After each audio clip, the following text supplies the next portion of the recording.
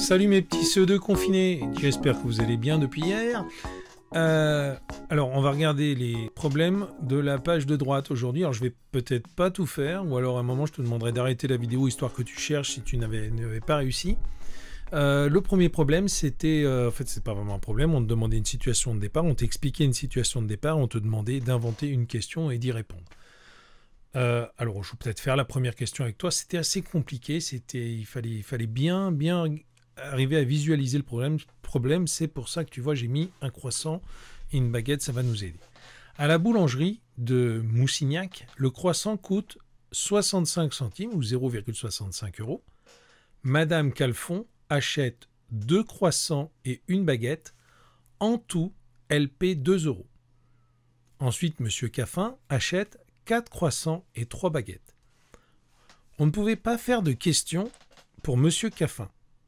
Le problème dans ce, problème, c'est qu'en fait, on a une information qui nous manque. C'est le prix de la baguette.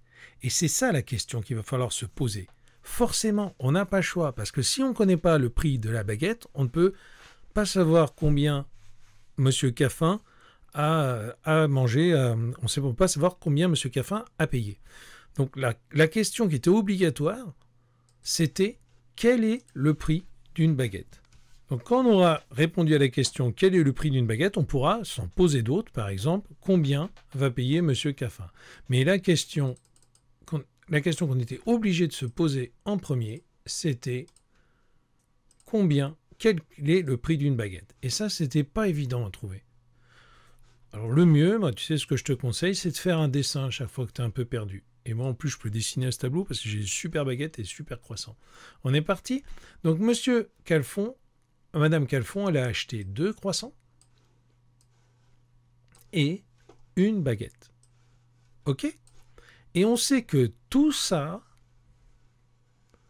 ça coûte 2 euros. Ça marche? On est d'accord jusque-là. Qu'est-ce qu'on sait? On sait que les deux croissants et la baguette, tout ça, ça coûte 2 euros. On sait aussi que notre, nos croissants, ils coûtent chacun 0,65 euros. Ou 65 centimes. D'accord?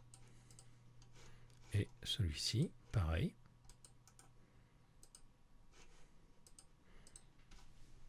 0,65 euros. Ok? Ça marche? Alors, avec ça, ben, on va essayer de trouver le prix de la baguette. Alors, tu sais ce que je vais faire, moi? Je vais tout passer en centimes parce que c'est tellement plus simple de compter en centimes, ça évite d'avoir des virgules. 2 euros, c'est 200 centimes. 0,65 euros, c'est 65 centimes. Et là, pareil, tu vois. Et pour moi, c'est plus simple. Après, tu peux compter avec les euros. Ça ne me pose pas de problème. Mais bon, voilà. 65 centimes pour le premier croissant, 65 centimes pour le deuxième croissant, ça veut dire que nos deux croissants, tu vois, ils vont nous coûter 130 centimes. C'est 65 plus 65. Ça marche. Donc ça, je vais enlever, parce que du coup, on n'a plus besoin. Et j'ai trouvé 130 en faisant 65 centimes plus 65 centimes. Et j'ai trouvé 130 centimes pour les deux croissants. Tu comprends si j'écris comme ça? Ok?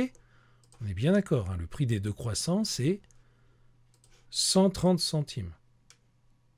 Ça, c'est ce croissant-là plus ce croissant-là, c'est donc le prix des deux croissants, 130 centimes. Ça marche? On sait que les deux croissants valent 130 centimes. Là, le tout vaut 200 centimes. On va chercher ce qui manque pour aller de 130 à 200. Alors, soit on fait 200 moins 130, soit on compte euh, dans sa tête, et on trouve 70 centimes pour la baguette. Tu avais réussi? Ça marche? Quel est le prix d'une baguette? Une baguette coûte 70 centimes. Maintenant qu'on sait le prix de la baguette, on peut, si ça nous amuse, compter combien euh, Madame Caffin a dépensé en achetant 4 croissants et 3 baguettes. Mais le plus difficile, c'était bien de trouver le prix d'une baguette. Ça marche? Monsieur Lefebvre veut savoir combien il y a de carreaux sur le mur de sa salle de bain. Alors Monsieur Lefebvre, il va compter des lignes ou des colonnes. C'est le plus simple. Dans cette première ligne, combien de carreaux? 1, 2, 3, 4, 5, 6, 7, 8, 9, 10, 11, 12, 13, 14 carreaux. 14 carreaux dans la première ligne. Combien de carreaux dans la deuxième ligne? La même chose. 1, 2, 3, 4, 5, 6, 7, 8, 9, 10, 11, 12, 13, 14. C'est pareil. 14 carreaux dans la ligne suivante. Et dans cette ligne-là, 14 carreaux aussi. Et encore 14 carreaux. 14, combien de fois? Alors ça, ça ressemble quand même drôlement à un problème de multiplication, non? Allez, je te laisse terminer.